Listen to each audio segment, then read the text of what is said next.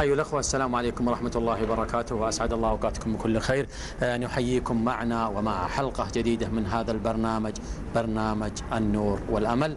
ويسرنا آه، أن نأخذكم في جولة إلى جمعية الأطفال المعوقين في مدينة الرياض لنتعرف على آه، الخدمات التعليمية في هذه الجمعية.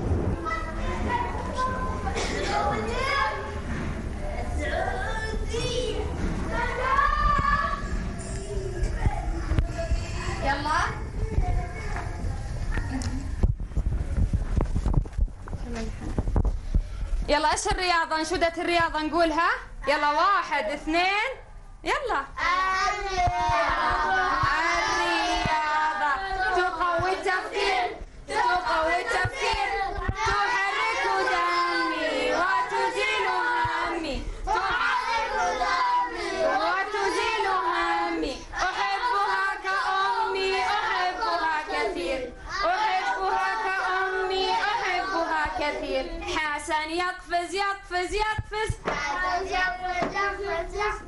يلا عبد الله يتسلق يتسلق. نايف يزحف يزحف يزحف. ممتازين. ثايب الرياضة مفيدة لجسم الإنسان أم غير مفيدة؟ مفيدة. مفيدة. ممتاز. يلا صفقوا الثايب. ممتاز. ناصر إيش ممكن تسوي للرياضة لجسم الإنسان؟ إيش تسوي؟ نتحرك أيوة. وتقوي جسمنا. أيوة. والعضلات. والعضلات. ممتاز. بارك الله فيك. يلا نصفق الناصر. ممتاز ناصر. يلا دور مين؟ مين يبغى أسأله؟ حسن. حسن إيش تقعد تلعب رياضة؟ طول اليوم ولا بس وقت محدد؟ كل اليوم. كل اليوم رياضة؟ لا. ما ننام ما ناكل؟ ألا لا. ممتاز. نصفق الحسن. السلام عليكم. هنا الصف الخامس فكري. آه، تطبق عليه منهج الت- التربية الفكرية لوزارة المعارف. الوزارة المعارف آه، حصة علوم الموضوع عن الحركة والنشاط والراحة والنوم. آه، نحن الآن في وحدة الحاسب الآلي بالمركز التعليمي بمركز الرياض بجمعية الأطفال المعاقين. وحدة الحاسب الآلي بتقدم خدمات راقية للأطفال من مرحلة التمهيدي ومرحلة الابتدائي وعبر برامج آه، خاصة وضعتها وضعها الأخصائيات الحاسب الآلي بالقسم التعليمي آه، بالتعاون مع الرئاسة العامة لتعليم البنات. والبرامج دي بتشمل برامج آه، تعليمية آه، وتأهيلية للأطفال آه، حيث يستخدم الحاسب الآلي كحلقة وصل آه، بين البرامج التعليمية اللي بتقدم في- الفصول وتزيد من مهارات الأطفال في التعامل مع التقنية الحديثة وتمكنهم من التواصل سواء آه، مع الأشخاص الآخرين أو مع ال- المدرسات والمعلمات اللي بيقدموا لهم البرامج. آه، الولاد آه، حسب إمكانياتهم حسب قدراتهم آه، آه، بيتم تسخير الأجهزة ل- ل- بحيث تجهز بما يتناسب مع إمكانيات الأطفال المصابين بالإعاقة الجسدية على وجه التحديد آه، حيث يتم توفير بعض الأجهزة المساعدة لتعريف الأطفال وترجمة آه، وترجمة الحروف باللغة العربية حتى يمكنهم استخدامها بسهولة. آه، الأولاد بيتعلموا على آه، الحاسب الآلي برامج دينية وبرامج الرياضيات والبرامج العربية وتستخدم أيضا في التأهيل الوظيفي أو التعليم لتنمية مهارات استخدامه للايادي ويعد الحاسب الآلي كوسيلة للتواصل مع الآخرين. يعني الطالب أو الطفل الغير قادر على المخاطبة أو الكلام بي- بيتمكن من إرسال رسالته عن طريق الكتابة على الحاسب الآلي ويعبر بيها عن مشاعره وعن احتياجاته وبالتالي يعد الحاسب الآلي وسيلة آه، راقية جدا وبسيطة وسهلة ل- لإدماج الطفل المعاق مع مجتمعه سواء مع بيته أو مع الآخرين. آه، وهو أحد الوسائل التعليم والتأهيل ال- المطبقة في كل مراكز الجمعية. وبدأت منذ آه، حوالي عشر سنوات في مركز الرياض وتم إدخالها لجميع مراحل التعليم الثلاثة مرحلة الطفولة المبكرة ومرحلة التمهيدي والمرحلة الابتدائية.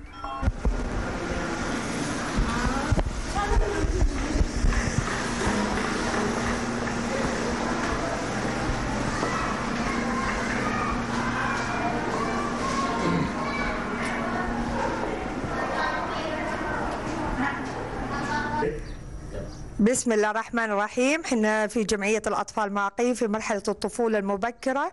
آه، في القسم التعليمي آه، يحتوي على مرحلتين في الطفولة المبكرة. آه، مرحلة متقدمة ومرحلة مبتدئة. الفصل اللي معانا هنا مرحلة متقدمة. عدد الأطفال داخل الفصل آه، عشرة أطفال. ت- العمر الزمني للطفل يتراوح من ثلاث سنين ونص للأربع سنين ونص أحيانا خمس سنوات حسب آه، اكتمال الفصل. آه، الإعاقات اللي موجودة عندنا إعاقات عقلية وجسدية تكون مزدوجة داخل الفصل. آه، نطبق داخل الفصل طبعا. الفصل يحتوي على معلمة ومساعدة داخل الفصل ومربية مسؤولة. آه، داخل ال- الفصل ندرس نظام الأركان والوحدات. المنهج الموجود عندنا هو ما وحدة الآن المطبقة داخل الفصل وحدة الحيوانات. الحيوانات آه، وحدة الحيوانات. وطبعا نبدأ نجهز الفصل على هذه الوحدة. زي ما عندنا هنا وحدة ال- المكتبة. وحدة المكتبة نبدأ نجهزها بالقصص اللي تحتوي على ال- الحيوانات والصور المطابقة للحيوانات. عندنا ركن الوحدة نفسها اللي هو آه، اليوم حنبدأ في الأسبوع هذا وحدة الحيوانات الغابة. فحنركز على وحدة حيوانات الغابة فنبدأ نجهز الفصل على أساسه. اللي هي خمسة أيام حندرس فيها الزرافة والقرد والفيل والأسد وبعدين مفهوم حيوانات الغابة. آه، الركن اللي عندنا موجود هنا نبدأ كمان نجهزه على أساس الحيوانات. آه، عندنا هنا آه، بادين نجهز حيوانات الغابة وحيوانات المزرعة وحيوانات المائية. فكل ركن يحتوي على أهداف الوحدة نفسها. فنبدأ اليوم إحنا كان درسنا عن الأسد فبدأنا ندرس الأطفال اليوم عن الأسد وقلنا لهم الأسد يلا نسمع مع بعض كيف عرضنا لهم لوحة عن حيوانات الغابة. مين اللي يعيش في الغابة؟ أبغى أسمع بصوت عالي. الأسد. ومين بعد مع الأسد يعيش؟ الفيل. ومين بعد يعيش مع الأسد؟ الزرافة ممتازين الزرافة والأسد والفيل. طيب حنا اليوم إيش درسنا؟ حيوانات إيش اللي تعيش في الغابة؟ مين؟ الأسد. يلا كلنا بصوت عالي إيش درسنا اليوم؟ الأسد. طيب الأسد حيوان أليف ولا مفترس؟ مفترس الأسد حيوان مفترس. طيب الأسد كيف عنده؟ إيش يسموه الأسد؟ ملك الغابة. ملك الغابة. الأسد ملك الغابة. طيب حنا اليوم درسنا الأسد ملك الغابة. الأسد إيش عنده؟ قلنا في راسه كثير قلنا شعر كثير عنده الأسد. الأسد إيش ياكل؟ ها؟ لحم عشان كذا نسميه حيوان أليف ولا مفترس؟ حيوان مفترس ممتازين. طيب حنا شفنا الأسد اليوم إنه هو حيوان مفترس وتعرفنا عليه. وعنده رأس ولا ما عنده رأس؟ عنده رأس. نشوف الأسد نروح نجيب الأسد من حيوانات الغابة. مين يبغى يطلع معايا؟ الأسد. يجي بداه يجي بداح يلا يا بداح.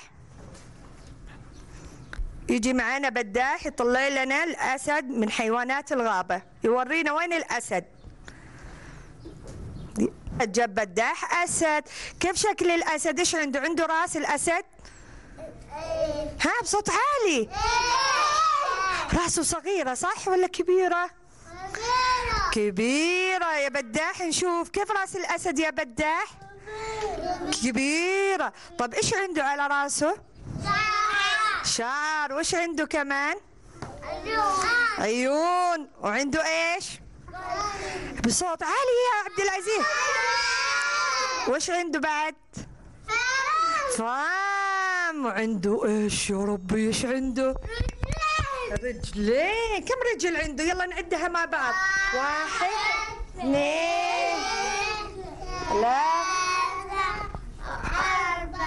أربعة رجول ممتازين. طيب نشوف عنده بطن ولا ما عنده؟ ها؟ عنده بطن عنده بطن. طيب أنا الأسد اليوم أبغى أجي أتعرف الأطفال الحلوين. من عنده الأسد؟ حنا نحطه في البيت؟ لا نحطه في البيت. لا أنا ما أحب أجي عندكم في البيت عشان الأسد إيش ياكل؟ ها? ياكل اللحم ياكلنا بعدين الأسد يحب ياكل إيش؟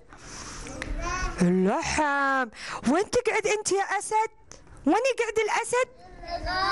في الغابة عشان الأسد ياكل لحوم. في حديقة الحيوان نتفرج على الأسد والدب الأسمر. والحديقة الحيوان نتفرج على الأسد والدب الأسمر. والحصان عربي أصيل والفيل أبو خرطوم طويل. والقرد بيجري ويتنطط نايمين ولا صاحيين؟ يلا نعلي صوتنا مرة ثانية. ها نايمين ولا صاحيين. ما غنيتوا معانا طيب؟ ها ما غنيتوا معانا؟ يلا. يلا نغنيها مرة ثانية يلا. يلا نقولها مرة ثانية؟ يلا. يلا كلنا بصوت عالي نصفق يلا. يلا. في حديقة الحيوان نتفرج على الأسد والدب الأسمر وحصان عربي أصيل. والفيل أبو خرطوم طويل والقرد بيجري ويتنطط. في حديقة الحيوان نتفرج.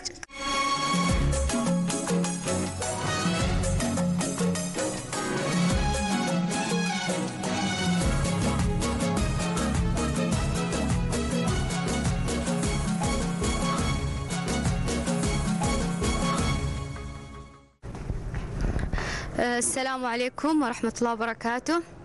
إن الآن في جمعية الأطفال المعاقين آه، دائما آه، في جمعية الأطفال المعاقين على آخر العام الدراسي نسوي مهرجانات ومعارض آه، يقوموا فيها الأطفال. واليوم عندنا معرض منتجات الأطفال من الأشغال اليدوية ورسوماتهم. والحين قاعدين نشوف آه، بعض الأشغال اليدوية بالخزف والسيراميك. والأشغال اليدوية. آه، هنا زي ما أنتم شايفين آه، بعض الزهور مسوينها بالقطاعات حقات الورد بالسيراميك والخزف.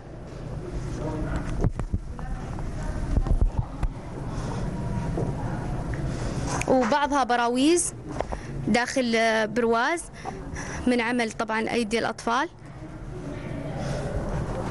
وكلها من معروضاتهم وبمساعدة طبعا. يحتاج يحتاجوا الأطفال إذا كان بمساعدة نقوم بمساعدتهم. والآن الحين في القرية الشعبية مسوينها الأطفال بالكباريت. جدا جدا رائعة. مسوين على شكل عشش وبيوت صغيرة على شكل حديقة. وهنا طبعا مجسمات حلوة تصلح مصلحينها الأطفال آه، آه، بالعجين بالعجائن السيراميك آه، من الورق والفاكهة. وهنا بعض النخ- النخيل صور من النخيل. وهنا جدا براويز مرة حلوة ورائعة مسوينها الأطفال معجنينها مسوين على شكل فاكهة. وتوضعت بطريقة حلوة في براويز.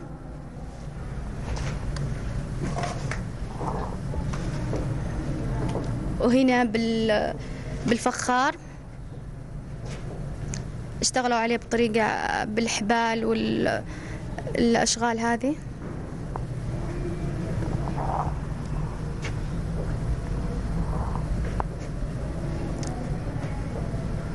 وفي بعض المرايا مسوينها الأطفال مرسوم عليها وهنا بعض العلب ترتبت آه، بالحبال وعملوها الأطفال ووضع عليها ورد مجفف.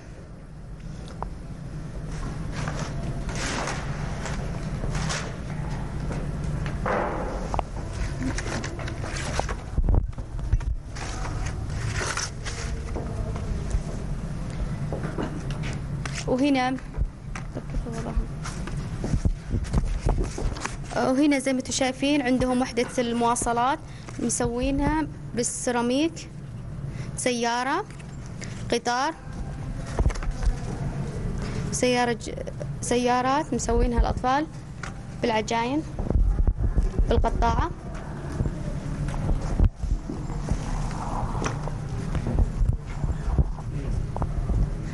آه وفي هنا مسوين بالسيراميك علب وسكريات. وحاطين فيها بعضها ورد مجفف. وسلات ممكن تستخدم للحلو لبعض الحلوى. آه والآن عندنا معروضات مرة مرة حلوة مسوية من الجبس على شكل براويز صغيرة مسوية كشكل طقم كل واحد آه، مكمل بعضه. مرايات على علب آه، للشموع. على علبة للهد... آه، للخواتم. والحين وصلنا عند الخزف. مسوينها الأطفال بالق- بقطاعات الخزف. مسوين علب ومزهريات صغيرة ومداخن صغيرة وكمان سبحات كبيرة. مسوي على شكل طق- طقم كامل كل واحدة بلون. عندنا اللون السماوي. طبعا الخزف متفرع لأشياء كثيرة من الألوان والأشكال وهناك كمان أشياء حلوة مسوية. وكمان هنا بالخرز واللولو مسوينها. مسوين الأطفال مرة شجر حلوة بطريقة اللولو بألوان حلوة. وهنا كمان سوى أشغال يدوية على العرايس. وننتقل إلى أركان أخرى رسومات الأطفال وأعمالهم الفنية. آه، وهنا فكرة الديكور. آه، فكرة الديكور اللون الأبيض والأحمر والأسود. آه، فكرة وتصميم الديكور هند العبيدان والمشاركات البندر المرحبي أحرار الجوهر عبير الكردي هدى العبيدان نوال السويدان وشكر خاص طبعا آه، لم- آه، للمعلمات. آه، سلافة السخيتان عمشة أبو السعود. وريم الجريد والمتطوعة من بناتنا طبعا كانت تدرس عندنا دلال المطيري رسومات الأطفال. وهناك لوحة كبيرة من رسومات الأطفال مصلحة. نبغى ننتقلها.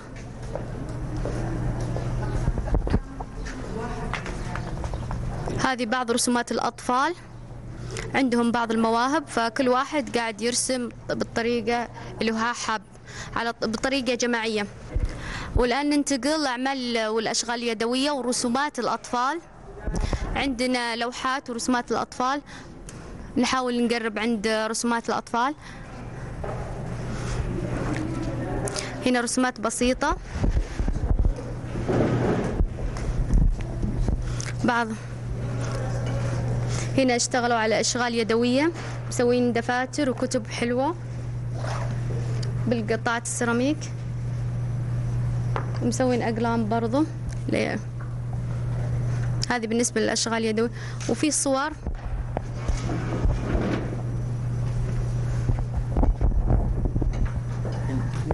والآن نجي عند الورد. مسوين ال- الورد بألوان حلوة.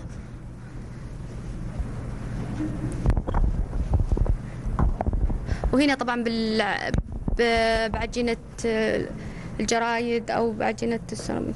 مسوية على شكل ساعات. وهنا طبعا المرايا مسوية بطريقة حلوة بالخزف. وعندنا في رسومات في أطفال بالمرة مرة رائعين رسومات وعندهم موهبة. عندنا رسمة راشد ورسمة محمد محمد الحفظي. وكمان عندنا رسمة الرسام عندنا راشد. بالمرة رسوماتهم مرة حلوة.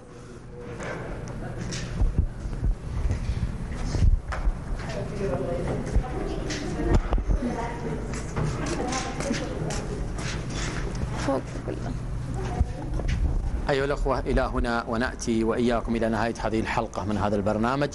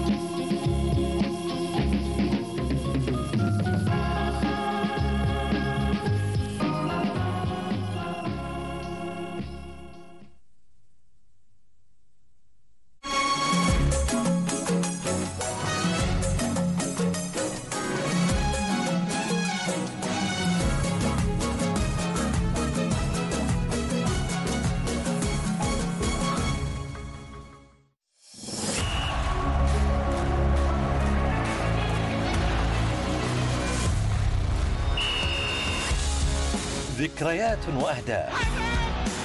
حماس وشغف مباريات عشنا فيها لحظات مشوقة. حمدان؟ وفرد الجول حمدان؟ الجول حطه في الجول وجول! بعيد في المرمى جول!